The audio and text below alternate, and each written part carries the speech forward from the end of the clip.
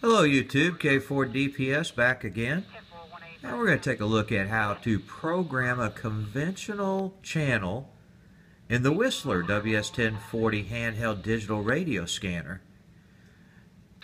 Alright, the very first thing we're going to do is we're going to get into program mode and the PGM button is located right there. We're going to press that once what comes up on the screen is new soft key F1 edit soft key F2 or global GLOB soft key 3 well it's going to be a new conventional channel so we're going to press new. In the next screen that pops up you're going to see TGRP that stands for talk group. That's in the F1 key conventional, which is CONV, F2, and search. So I am going to enter a conventional channel. Okay, now you have the option of putting this in any scan list that you'd like. If you page over, you'll notice that you're going through the different scan lists over here. And you can put this in any scan list that of your choosing just by going and using the right and left arrow keys on the keypad. And what I'll do for demonstration purposes is I will go to scan list number two. Now you'll notice that there is not an asterisk there like there is on scan list one. Now the, the asterisk right there is very important.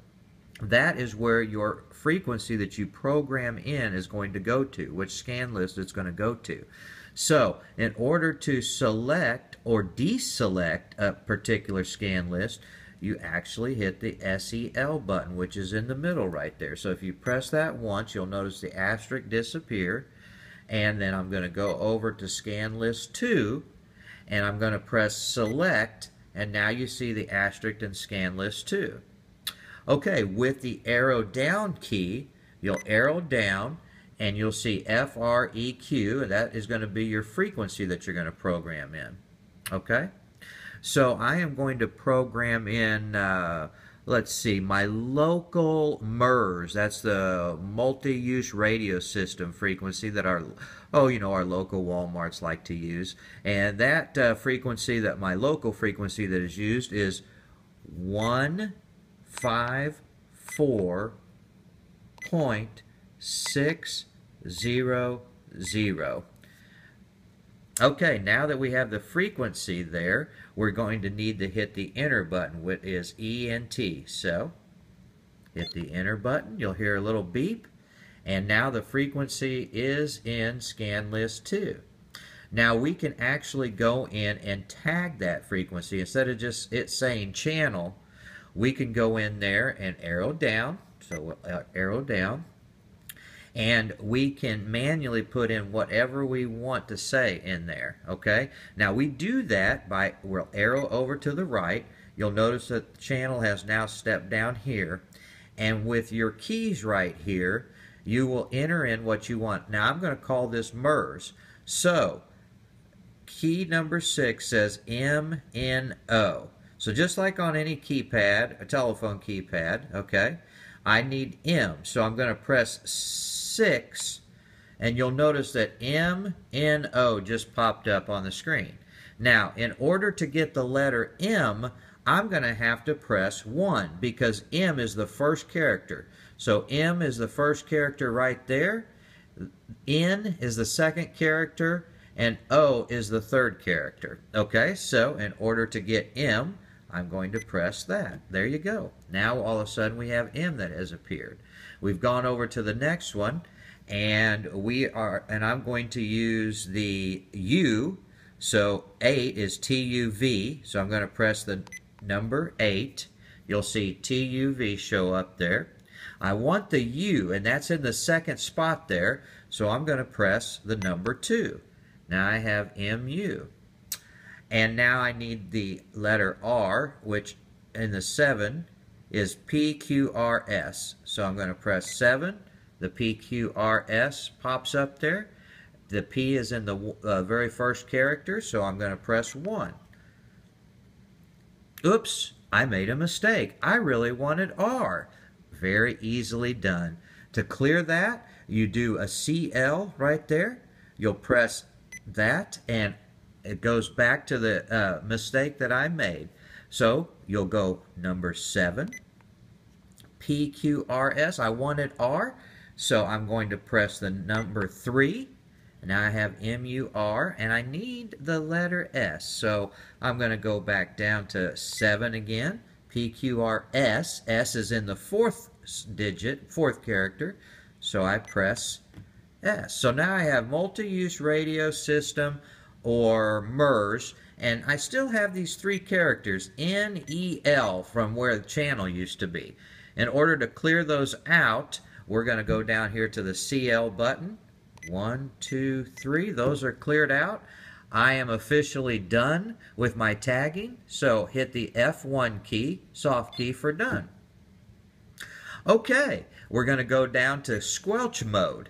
Now this scanner is going to give us the option of actually searching if there's any tone-coded squelch. In order to do that, you can arrow over with the right or left key, whichever, and you'll notice squelch mode none, CTCSS, continuous tone coded squelch system, DCS, digital coded squelch, or P25 digital. Now, whatever you leave this on is what the scanner is going to go into and monitor. Now, this is a analog frequency, and I want to know what frequency they're using. So what I'll do is I'll put the squelch mode in CTCSS, and then I'm going to leave that on search. Now you can actually go in here if you know the tone coded frequency and with your right or left key you can actually enter it. But I am going to leave it back on search. Okay, I do not want to lock out the channel. I can make this a priority channel. If I did want to make this a priority channel, I would use the right arrow to turn that on, or right, off, right or left is going to turn that on or off. Now I have the option to do some alerts. So I can go down here, and this is the LED. That's the little light that's right up here. And I can actually either have it uh, just solid when I have something come on that frequency, or I can have it flash. So I'm going to go ahead and have it flash. Now, what color would I like to choose? Well, we're going to arrow down. And this is your LED color. And with your right or left, you'll notice that it is going to go through the color options that we have. I don't know if you can see that that well. I'll try to move this up closer to the camera. But we actually have numerous colors that we can use or off. And what I'm going to do is I am going to put it on green. So LED color 3, it's illuminating green. It will start flashing when somebody comes on that frequency that has a transmission. Okay, for the most part, that right there is your basic getting a conventional frequency in the scanner, okay, um, with an alert color that will flash and this is how you manually do this without using a computer. Now we need to save our work. So right over here you'll see save and that is the F1 key. You're going to press that once. It's saving the system to file. Okay. And so now it has saved it into the scanner. In order to scan, we're going to press the scan keys, the second one down there. And now we're scanning. Now, what you'll notice is you need to turn the scan list on. I only have scan list 1 currently on, but I need to turn scan list 2 on in order to monitor that new frequency that I just programmed in. Very, very simple operation. All you have to do is press the number 2 key and you'll see that the scan bank 2 is now on. So now I'm scanning bank 1 and bank 2. Now if I wanted to just scan bank 2, I could just press the 1 key That's going to turn off bank 1, and now I'm just scanning bank 2. Anyway, a brief overview on how to program a conventional channel with the alert light. And once again, I do appreciate you uh, watching my videos and have a great day.